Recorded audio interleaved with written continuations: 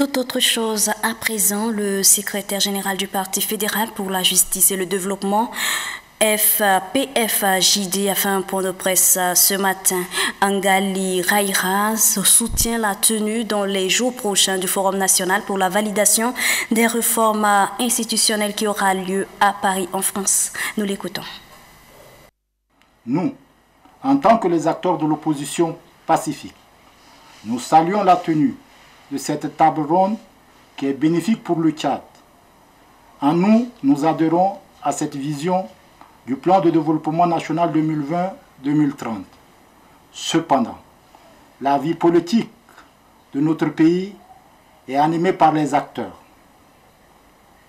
Et toutes les parties prenantes doivent donner librement leur opinion, sans distinction. Et d'autre part, les autres peuvent les critiquer librement avec objectif. C'est pourquoi nous voudrions dire que toutes les parties prenantes doivent faire l'obligation de preuve et de retenue. Cependant, comme nous l'avons souligné, les opinions peuvent être contestées ou critiquées de manière objective. Nous voudrions aussi saluer l'initiative responsable pour la tenue du forum inclusif sur la réforme des institutions de l'État. Une autre sortie médiatique, celle du président de la coordination pour l'appui au bilinguisme au Tchad, Mohamed Nour Al-Hassana. Il apporte également le soutien de son organisation à accompagner le gouvernement pour la réussite de la table ronde de Paris pour la mobilisation des ressources financières. Suivez. La coordination nationale pour l'appui à l'application du bilinguisme au Tchad est l'une des organisations de la société civile qui œuvre dans le cadre du programme du gouvernement visant le développement et la promotion du pays. C'est dans cet esprit que le programme de gouvernement pour la tenue de la table ronde de Paris pour l'appui et la marche du développement dont le train est en marche au Tchad notre coordination apporte son soutien au gouvernement et appelle tous les partenaires économiques du Tchad à l'appuyer dans ces projets.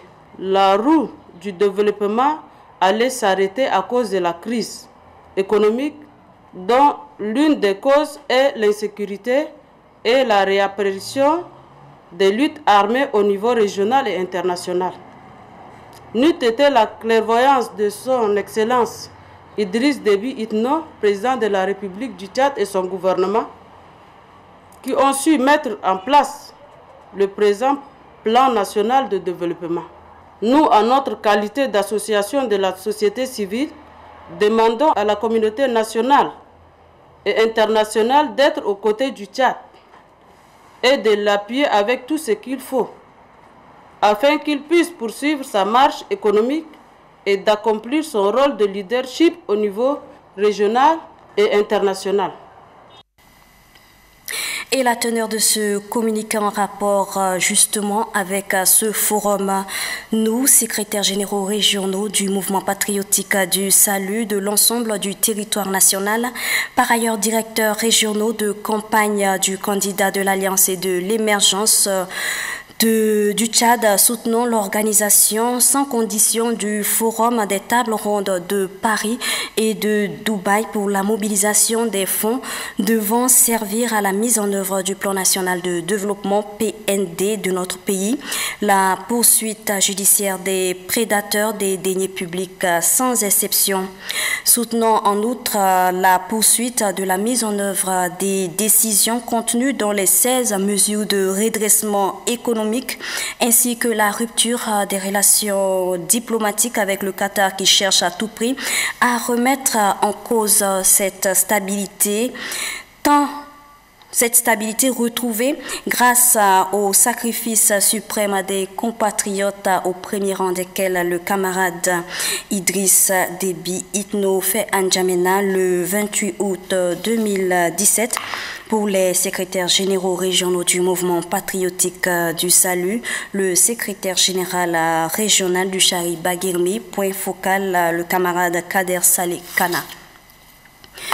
Les aînés sont une richesse pour notre société. C'est le thème retenu cette année sur le plan national à l'occasion de la commémoration de la Journée internationale des personnes âgées.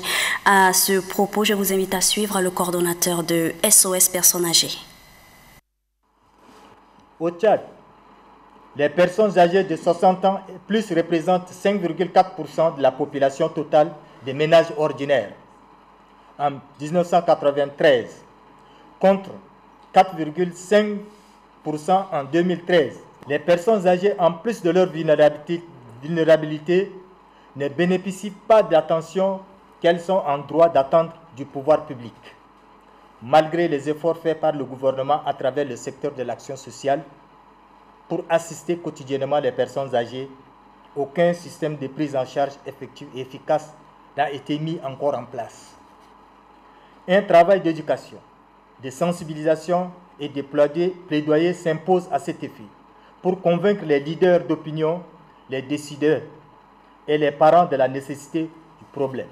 Donner aux femmes et aux hommes âgés le pouvoir de rester parfaitement intégrés à la société et de vivre la dignité, quel que soit leur état de santé et leur degré de dépendance.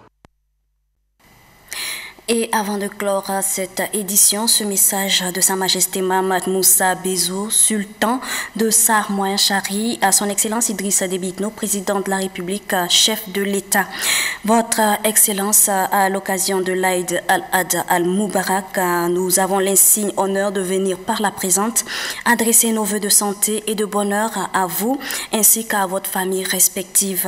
Qu'Allah le miséricordieux vous protège et guide vos pas pour le bien-être de la population tchadienne. Ce message est signé de Sa Majesté Sultan Mahamat euh, Moussa Bezo. Et voilà, c'est la fin de cette édition du journal. Merci pour votre fidélité. Toute la rédaction de Télé Tchad vous dit à très bientôt.